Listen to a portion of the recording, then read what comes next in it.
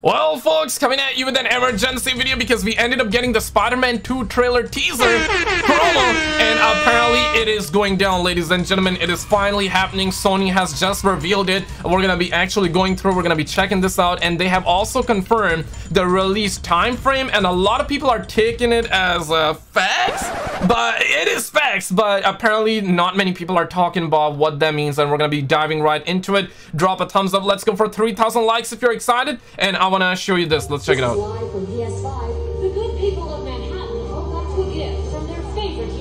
He delivered a gang of criminals on something of a webbed flash. This was live from PS5.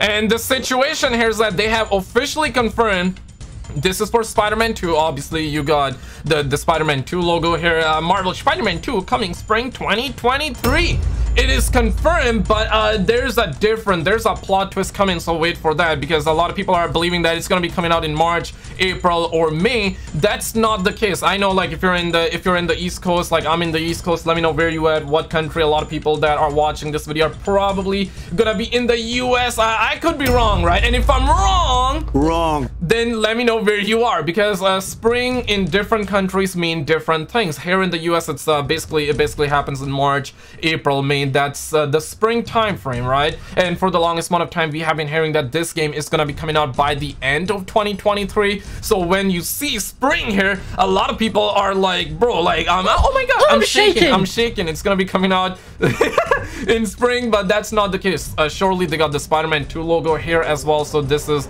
real footage. And uh, spring is essentially, let me show you this, okay? Spring officially starts in March, April, or May here in the US. But however, when you go down to the route of Australia, because this video was shared on ESPN broadcast in Australia. So this was revealed on Australia and the marketing has officially begun and we're surely gonna be getting a Sony showcase very soon. When exactly, I'm not sure, but uh, you would have to guess in a few months. Now, when you Google spring in Australia, in Australia, the seasons are defined by grouping the calendar months in a following way and spring, the three transition months are basically September, October, and November. So it's completely different.